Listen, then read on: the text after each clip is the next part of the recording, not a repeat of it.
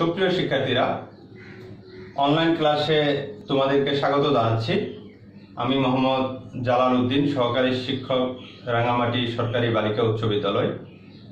সুপ্রিয় শিক্ষার্থীরা অনলাইন ক্লাসে আজকে তোমাদের সাথে আছি নবম শ্রেণির বাংলাদেশ ও বিশ্ব পরিচয় বিষয়টি নিয়ে। আজকে আমাদের আলোচনার বিষয় সপ্তম অধ্যায়ের নাগরিক ও নাগরিকের দায়িত্ব কর্তব্য। সুপ্রিয় শিক্ষার্থীরা তোমরা নাগরিক ও নাগরিকের দায়িত্ব কর্তব্য। এই বিষয়টি নিয়ে তোমরা তোমাদের পূর্বের শ্রেণীতেও ধারণা ধারণা লাভ করেছ। আজকেও আমরা একটু নাগরিক সম্পর্কে ধারণা লাভ করি।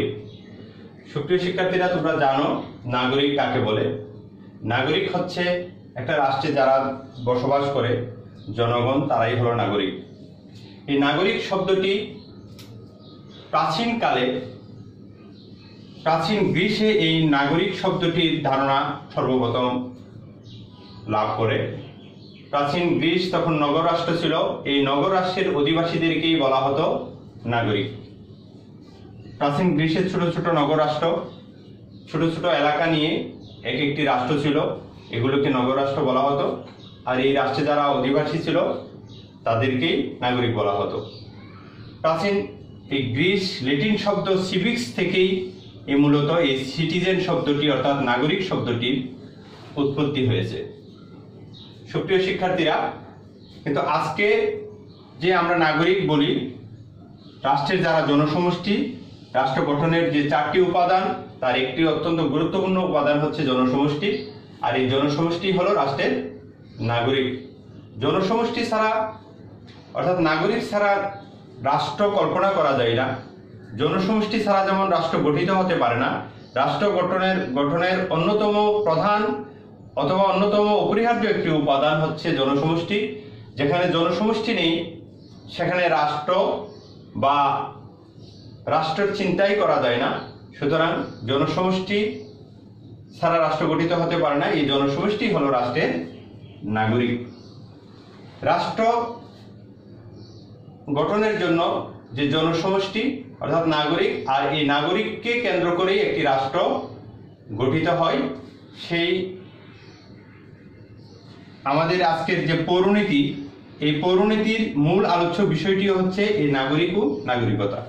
নাগরিক এবং নাগরিকতার সাথে সংশ্লিষ্ট সকল বিষয় নিয়েই যে বিষয় আলোচনা করে সেটাই হচ্ছে এই পৌরনীতি। সুতরাং বোঝা গেল যে নাগরিক ছাড়া রাষ্ট্রের কল্পনা করা যায় না।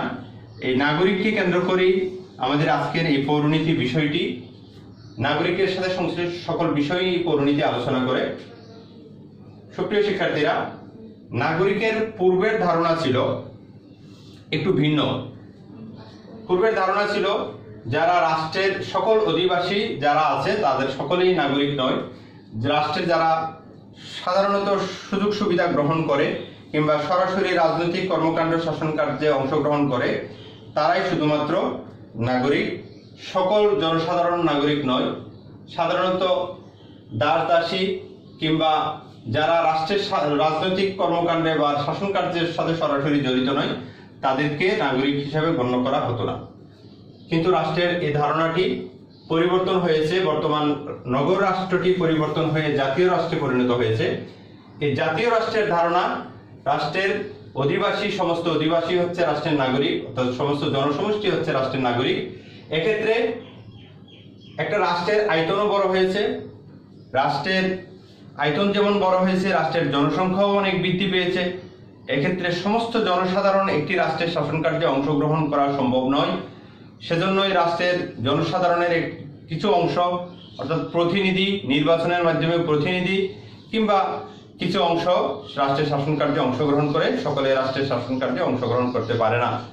ঠিক তেমনিভাবে রাষ্ট্রের রাজনৈতিক কর্মকাণ্ডে সবাই যেহেতু অংশগ্রহণ করতে পারে না সেজন্য শুধুমাত্র যারা অংশগ্রহণ করে তাদেরকেই নাগরিক হিসেবে গণ্য করা হয় না।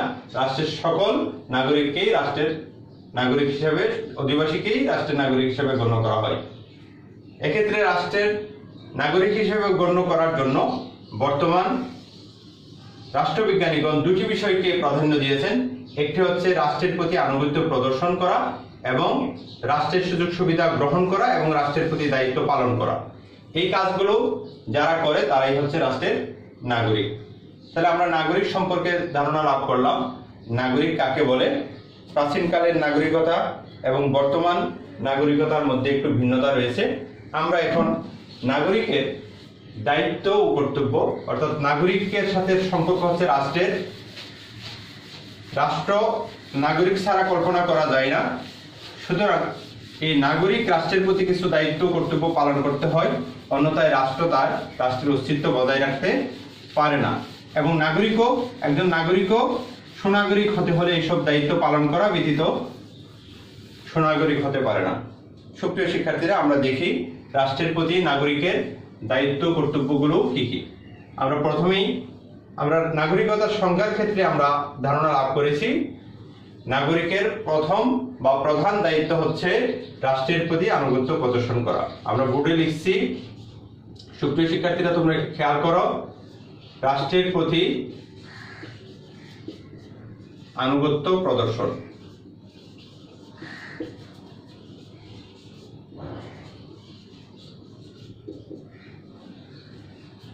সুপ্রিয় শিক্ষার্থী, একজন নাগরিক হিসেবে তার প্রথম এবং প্রধান দায়িত্ব হচ্ছে রাষ্ট্রের প্রতি আনুগত্য প্রদর্শন করতে হবে। ওই রাষ্ট্রের প্রতি তার ভালোবাসা, তার মমত্ব থাকতে হবে। রাষ্ট্রের উন্নতির জন্য তার সচেষ্ট থাকতে হবে। রাষ্ট্রের আইন কারণ এগুলোর প্রতি তার ভালোবাসা মেনে চলার প্রবণতা, মেনে চলার যে তার ইচ্ছে, এই সমস্ত কিছু থাকতে হবে। এই সমস্ত কিছুই হচ্ছে রাষ্ট্রের প্রতি আনুগত্য প্রদর্শন করা। এরপর একজন নাগরিক হিসেবে যে কাজটি করতে হবে, রাষ্ট্রের প্রচলিত আইন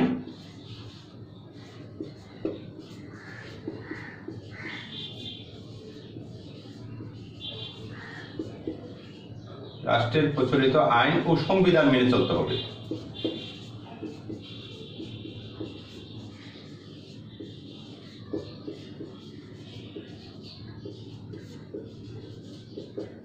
সুপ্রিয় শিক্ষার্থীরা, তোমরা জানো, একটি রাষ্ট্র কীভাবে পরিচালিত হয়? প্রত্যেক রাষ্ট্রেরই তার নিজস্ব সংবিধান আছে। সেই সংবিধানের আলোকে রাষ্ট্রটি পরিচালিত হয়।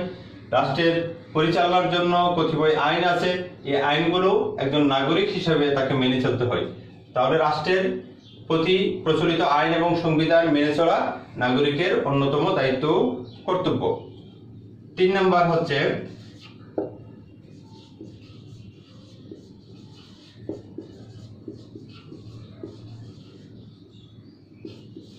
সততা ও সুবিবেচনার সাথে ভোট প্রদান করা। ভোট প্রদান করা। সুপ্রিয় শিক্ষার্থীরা, একজন নাগরিক হিসাবে তাকে ভোট প্রদান করতে হয়, কিন্তু এই ভোট প্রদান করাটা হতে হবে সততার সাথে এবং সুবিবেচনার সাথে। একজন দক্ষ প্রার্থীকে যিনি রাষ্ট্রের কল্যাণে কাজ করবেন, যিনি রাষ্ট্রের জন্য রাষ্ট্রের উন্নতির জন্য কাজ করবেন, এরকম একজন দক্ষ নাগরিককে, দক্ষ প্রার্থীকেই সততার সাথে কোনো প্রকার দুর্নীতির আশ্রয় না নিয়ে কারও দ্বারা প্রলুব্ধ না হয়ে কিংবা কারও থেকে উৎকোচ গ্রহণ করার মাধ্যমে ভোট প্রদান না করে তার সততা এবং সুবিবেচনার মাধ্যমে তাকে ভোট প্রদান করতে হবে, যোগ্য প্রার্থীকে নির্বাচন করতে হবে, যোগ্য প্রার্থী নির্বাচিত হলে দেশ এবং জাতির উন্নতি হবে, রাষ্ট্রের কল্যাণ হবে। সুপ্রিয় শিক্ষার্থীরা, এরপর নাগরিক হিসাবে নাগরিক হিসাবে তার অন্যতম, রাষ্ট্রের প্রতি অন্যতম কর্তব্য হচ্ছে যথাসময়ে কর প্রদান করা।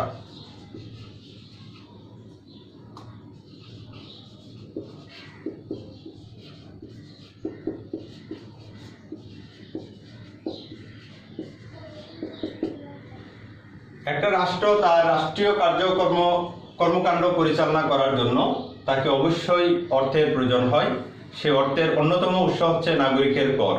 নাগরিক বিভিন্ন প্রকার কর প্রদান করে থাকে, যেমন আয়কর প্রদান করে, ভূমি রাজস্ব প্রদান করে, ব্যবসা বাণিজ্য করলে সেখানে কর প্রদান করে, বিভিন্ন দ্রব্য ক্রয় করলে সেখানে কর প্রদান করে, জমি এভাবে বিভিন্ন ধরনের আমদানি শুল্ক, রপ্তানি শুল্ক, তারপর বিভিন্ন ধরনের এরকম বাণিজ্যিক শুল্ক, বিভিন্ন ধরনের শুল্ক প্রদান করা একজন নাগরিক হিসেবে তার প্রধান কর্তব্য। কেননা, এই কর প্রদান না করলে রাষ্ট্র তার অর্থ যোগান দিতে পারবে না। বিভিন্ন কর্মকাণ্ড পরিচালনা করার জন্য যে রাষ্ট্রের যে ব্যয় নির্বাহ করতে হয়, সেই ব্যয় নির্বাহ করা রাষ্ট্রের পক্ষে সম্ভব হবে না। সুতরাং একজন নাগরিক হিসাবে অন্যতম দায়িত্ব হচ্ছে যথাসময়ে রাষ্ট্রের কর প্রদান করা এবং রাষ্ট্রের অর্থনীতিকে সচল রাখার জন্য তার দায়িত্ব পালন করা। সুপ্রিয় শিক্ষার্থীরা, এরপর নাগরিকের অন্যতম কর্তব্য হচ্ছে রাষ্ট্র বিভিন্ন সময়ে নাগরিককে বিভিন্ন দায়িত্ব প্রদান করে। সেই রাষ্ট্রের যে অর্পিত দায়িত্ব যথাযথভাবে পালন করা। আমরা সংক্ষেপে লিখছি যে শিক্ষার্থীরা, অর্পিত দায়িত্ব যথাযথভাবে পালন করা।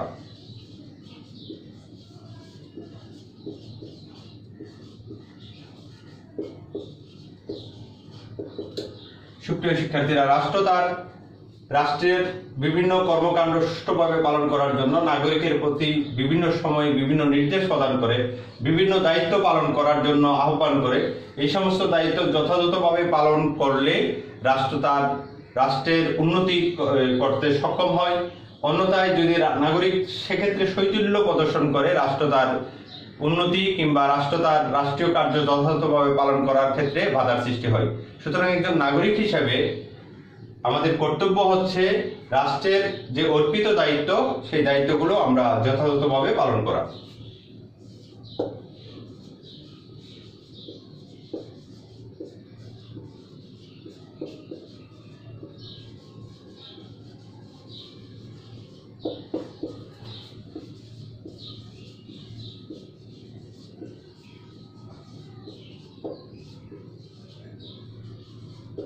সন্তানকে সুনাগরিক হিসেবে গড়ে তোলা। একজন নাগরিক হিসেবে তার অন্যতম দায়িত্ব হচ্ছে সন্তানকে সুনাগরিক হিসেবে গড়ে তোলা। আজকের যে শিশুটি আগামী দিনের ভবিষ্যৎ, আমরা এটা জানি। আজকের যে শিশুটি বা আজকের যে বেড়ে ওঠা সন্তানটি, সেই সন্তানটি আগামীকাল বড় হবে।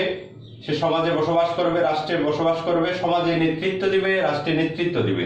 সে যদি সুনাগরিক হয় তাহলে রাষ্ট্র এবং সমাজের জন্য সেটা কল্যাণকর হবে। সুতরাং রাষ্ট্রের নাগরিক হিসেবে তার সন্তানকে সুনাগরিক হিসেবে গড়ে তোলা একজন নাগরিক হিসেবে অন্যতম দায়িত্ব। সুপ্রিয় শিক্ষার্থীরা, আমরা উপরের অংশটুকু মুছে ফেলব। আবারও আমরা যে বোর্ডে যে ছয়টি দায়িত্ব কর্তব্য লিখেছি, সেগুলো একটু রিপিট করি। নাগরিকের দায়িত্ব কর্তব্যের মধ্যে প্রথম দায়িত্ব কর্তব্য হচ্ছে রাষ্ট্রের প্রতি আনুগত্য প্রদর্শন করা।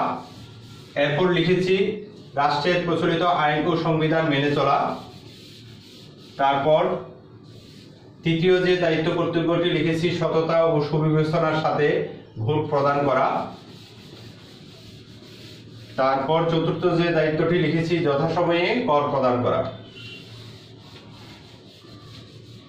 সুপ্রিয় শিক্ষার্থীরা, এবার আমরা সপ্তম যে দায়িত্ব কর্তব্যটি লিখব, সেটি হচ্ছে রাষ্ট্রের বিভিন্ন ঐতিহ্য আছে, বিভিন্ন ইতিহাস আছে। রাষ্ট্র, একটি রাষ্ট্রের স্বাধীন হওয়ার ইতিহাস যেমন আমাদের রাষ্ট্রটি স্বাধীন হয়েছিল উনিশশো একাত্তর সালের ষোলোই ডিসেম্বর।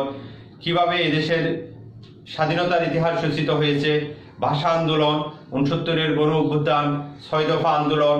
এই যে বাংলাদেশের রাষ্ট্রের একটি ইতিহাস আছে, ঐতিহ্য আছে এবং রাষ্ট্রের বিভিন্ন ইতিহাস ঐতিহ্য, সংবিধান কীভাবে রচিত হয়েছে, এই সমস্ত প্রতি ইতিহাস ঐতিহ্য, আমরা সংক্ষেপে লিখছি, ইতিহাস এবং ঐতিহ্য, এগুলোর প্রতি আমাদেরকে কি থাকতে হবে, আমাদের সম্মান প্রদর্শন করতে হবে, এবং এগুলোর, এগুলোকে আমরা যথাযথভাবে সংরক্ষণের জন্য সচেষ্ট থাকতে হবে।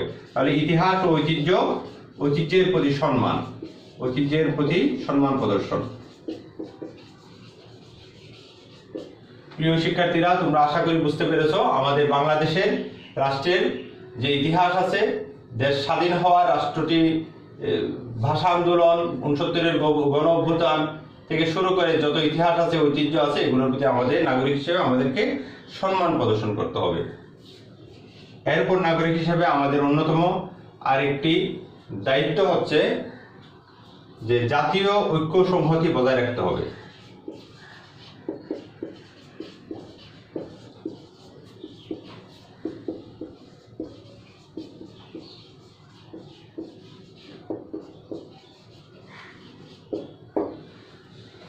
একজন নাগরিক হিসেবে একটি রাষ্ট্রের জাতীয় ঐক্য এবং সংহতি বজায় রাখার জন্য যে সমস্ত কর্মকাণ্ড করা দরকার, যে সমস্ত কাজ করা দরকার, নাগরিক হিসাবে আমাদেরকে সেই দায়িত্বগুলো পালন করতে হবে। রাষ্ট্রের জাতীয় ঐক্য বা সংহতি বিনষ্ট হয় এরূপ কোনো কর্মকাণ্ডে জড়িত থাকা যাবে না। বিচ্ছিন্নতাবাদী কিংবা কোনো একটি গ্রুপ সন্ত্রাসী এ সমস্ত কর্মকাণ্ডের মাধ্যমে জাতীয় ঐক্য সংহতি নষ্ট হয়।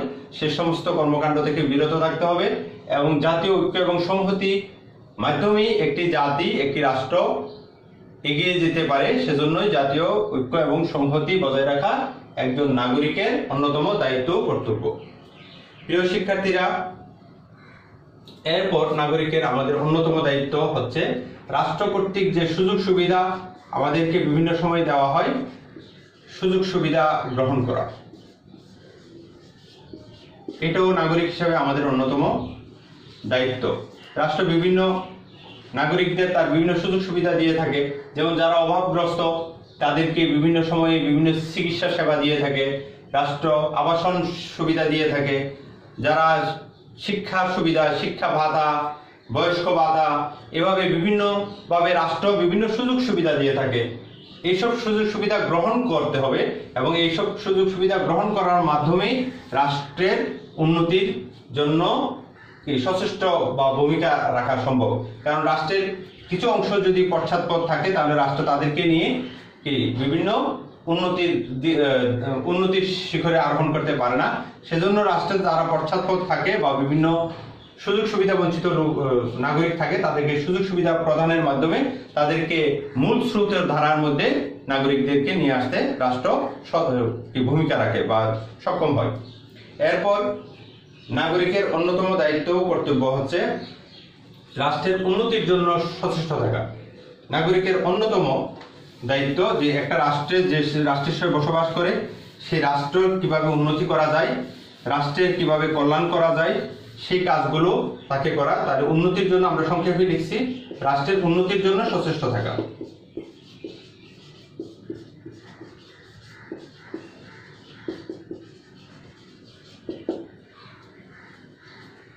রাষ্ট্রের ক্ষতি হয়, এরূপ কোনো কর্মকাণ্ডে নাগরিক জড়িত থাকা উচিত নয়। এরপর নাগরিকের অন্যতম দায়িত্ব কর্তব্য হচ্ছে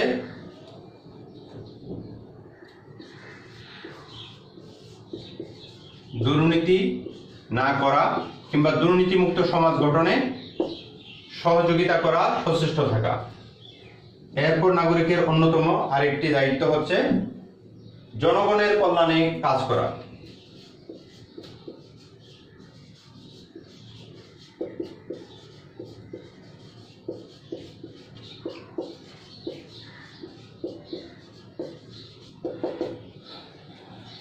জনগণের কল্যাণে কাজ করা। জনগণের কল্যাণ হয়, এরূপ কাজকর্ম একজন নাগরিক হিসেবে করতে হবে। জনগণের অসুবিধা হয়, জনগণের সমস্যা সৃষ্টি হয়, জনগণের দুর্ভোগ হয়, এরকম কোনো কাজ করা নাগরিক হিসেবে তার উচিত নয়। সুতরাং একজন সুনাগরিক বা একজন নাগরিক হিসেবে আমাদের জনগণের উন্নতি এবং কল্যাণের জন্য আমরা দায়িত্ব পালন করব। সুপ্রিয় শিক্ষার্থীরা, আমরা আজকে জানলাম নাগরিক কাকে বলে নাগরিকের ধারণা, কোথা থেকে নাগরিকের ধারণা এসেছে, নাগরিকের পূর্ব সময়ের ধারণা কিরূপ ছিল, বর্তমানে নাগরিকতার ধারণা কিরূপ, নাগরিকের দায়িত্ব, কর্তব্য আমরা জেনেছি, আমরা বারোটি পয়েন্ট আমরা জেনেছি, নাগরিকের দায়িত্ব, কর্তব্য, সেই নাগরিকের দায়িত্ব, কর্তব্যগুলোর মধ্যে আমরা যেগুলো পেয়েছি, আমরা বোর্ডে লিখেছি, তোমরা ভিডিওটি ভালো করে দেখে তোমরা পয়েন্টগুলোকে নোট করবে, এবং আমি পয়েন্টগুলোর এগেনস্টে যে কথাগুলো বলেছি, সেগুলো বোঝার চেষ্টা করবে। তোমাদের টেক্সট বই আছে টেক্সট বইটুকু করবে আশা করি তোমরা নাগরিক এবং নাগরিকের দায়িত্ব কর্তব্য সম্পর্কে তোমরা সুস্পষ্ট ধারণা লাভ করতে পারবে। সুপ্রিয় শিক্ষার্থীরা, করোনাকালীন সময় তোমরা বাড়িতে আছো, অবহেলা করে সময় নষ্ট করবে না। তোমাদের পরীক্ষা যথাসময়ে হবে বলে আমরা আশা করছি। তোমরা তোমাদের পরীক্ষার প্রস্তুতি নাও। এসএসসি পরীক্ষার যথাযথ প্রস্তুতি নাও, বার্ষিক পরীক্ষারও প্রস্তুতি নাও, এবং তোমরা বাড়িতে থেকে এই সময়টুকু তোমাদের কাজে লাগাও। আশা করছি তোমরা সুস্থ তোমরা সুস্থ থাকো, তোমাদের সুস্থতা, তোমাদের দীর্ঘায়ু কামনা করে আজকের অনলাইন ক্লাস আমি সমাপ্ত করছি। আল্লাহ হাফেজ।